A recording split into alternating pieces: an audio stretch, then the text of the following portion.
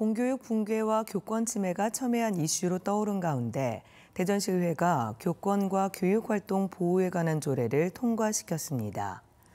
해당 조례에는 교원의 교육활동 보호에 대한 사항을 규정하고 교육활동 침해 행위에 대한 조치와 대응 지원, 예방교육에 대한 내용을 담고 있습니다. 이번 조례 제정 전까지 대전은 전국에서 교육활동 보호 관련 조례가 없는 7곳 가운데 한 곳이었습니다.